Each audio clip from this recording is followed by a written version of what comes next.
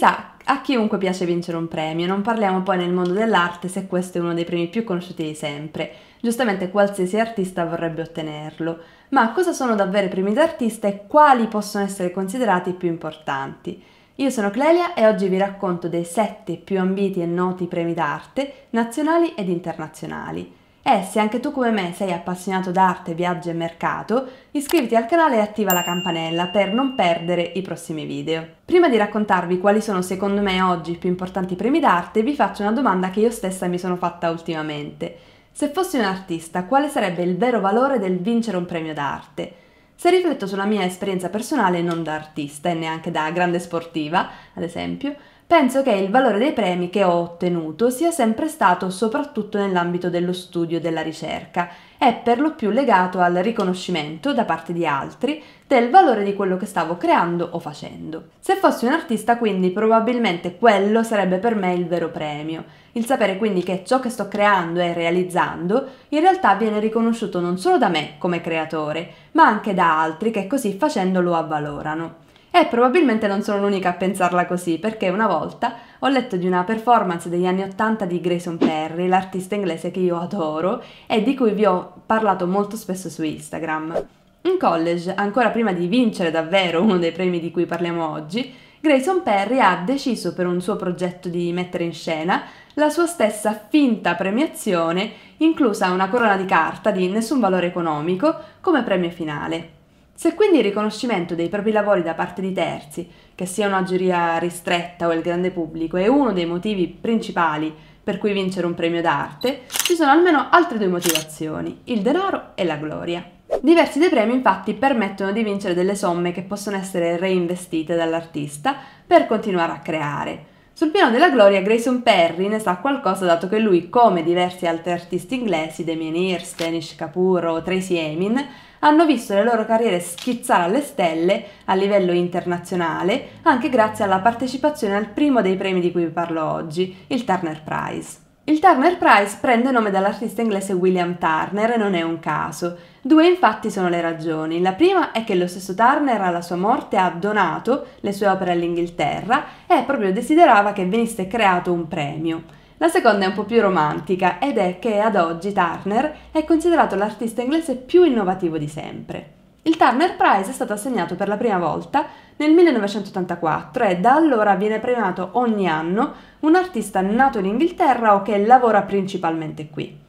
La Tate seleziona una giuria sempre diversa ed è un gruppo formato da curatori, critici, scrittori e direttori di gallerie d'arte e la cosa bella è che almeno uno di loro deve essere straniero. In più il pubblico seleziona dal sito web della Tate il proprio artista preferito attraverso una sorta di sondaggio. Fino al 2016 c'era un limite di età, il premio infatti era solo per artisti più giovani di 50 anni, al fine di dare spazio agli artisti considerati emergenti. Poi è avvenuto il cambiamento. Dato che l'apice creativo può essere raggiunto anche dopo i 50 anni, la Tate ha voluto dimostrare che si può essere emergenti, ma non per forza super giovani di età. Stabilito il valore del riconoscimento e la gloria, adesso parliamo del premio in denaro, che è abbastanza alto, 40.000 pound. Sono così divise 25.000 al primo classificato e 5.000 ad ognuno di quelli che si trova fino in finale. Ma in questo caso a fare la differenza è la storia soprattutto di chi ha vinto negli anni.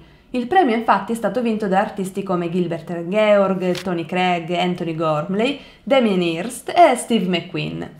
Ma ha reso anche noti quelli che non lo hanno vinto, come nel caso di Tracy Emin. E anche il secondo premio di cui parliamo oggi si distingue per importanza dell'ente organizzatore e per il premio in denaro. Si tratta dell'Hugo Boss Prize organizzato in collaborazione con il Guggenheim Museum di New York è nato nel 1996 per celebrare l'arte contemporanea in ogni sua forma, abbattendo le barriere di diversità di genere, di età, di nazionalità, ma soprattutto medium artistico utilizzato.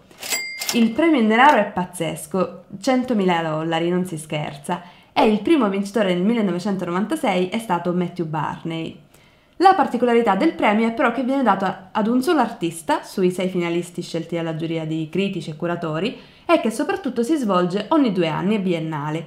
Quindi l'ultima edizione è stata nel 2020 con la vittoria di Diana Lawson. Non è mai stato vinto da un artista italiano, ma Tra i finalisti del 2000 c'era anche il nostro Maurizio Cattelan, che non ha vinto quell'anno, ma poi nel 2011 è stato protagonista di una retrospettiva pazzesca proprio al Guggenheim Museum. E torniamo in Europa per uno dei premi che secondo me ha le caratteristiche più interessanti, il Marcel Duchamp Prize. Vi dico subito l'unico difetto di questo premio ed è, secondo me, il fatto che sia aperto soltanto da artisti francesi o internazionali che vivono e lavorano in Francia. Superato questo ostacolo sotto tutti gli altri punti di vista, è davvero probabilmente il più interessante. Ovviamente è stato intitolato in onore di Marcel Duchamp, ma soprattutto è un premio ideato e portato avanti da collezionisti. A fondarlo nel 2000 è stato il presidente dell'ADIAF, un'associazione di collezionisti d'arte che lavora per la diffusione dell'arte francese. Il premio viene dato ogni anno ad un solo artista sui quattro finalisti che vengono scelti dai collezionisti attraverso visite negli studi d'artista, una sorta di scrematura tramite votazioni di tutti gli associati e poi la decisione finale della giuria. Il premio è notevole, 35.000 euro, ma ci sono anche in palio una mostra al Centre Pompidou di tre mesi dei quattro finalisti, con catalogo e soprattutto due anni di residenza d'artista per portare avanti i propri lavori. Penso sinceramente che se fossi un artista mi trasferirei in Francia anche solo per poter partecipare, perché sembra davvero un sogno. Ma torniamo in America per un premio che negli ultimi anni ha fatto molto parlare di sé, più per via della sua giuria che per i suoi vincitori. Si tratta del Future Generation Art Prize, un premio biennale che si distingue per la possibilità di poter partecipare online da tutto il mondo, con addirittura dei veri e propri talent scout che vanno a scoprire gli artisti e li invitano a fare domanda. La giuria che fa tanto parlare è composta da quattro fra gli artisti contemporanei internazionali con le più alte valutazioni di mercato e quindi anche tra i più famosi al mondo.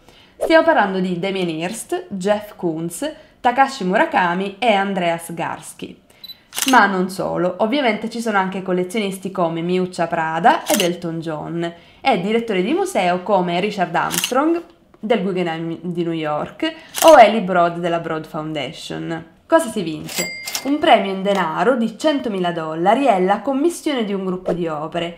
Un premio quindi aperto a tutti, con un'alta cifra in denaro, ma che forse dovrebbe offrire un po' più di visibilità ai partecipanti più che alla giuria.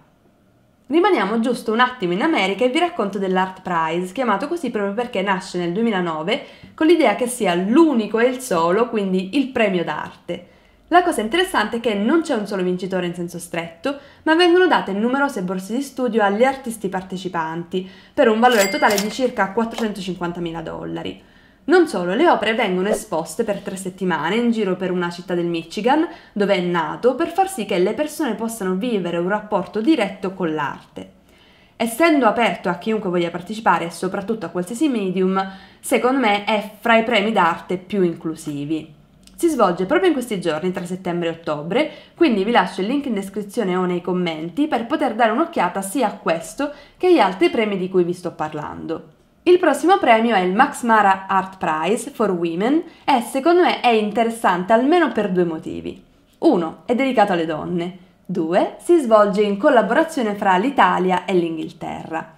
Il premio nasce dall'unione fra la collezione Maramotti e la Whitechapel Gallery di Londra, infatti è curato direttamente dalla sua direttrice. La giuria cambia ogni anno, ma è sempre formata da quattro figure: una collezionista, una gallerista, una giornalista e un artista.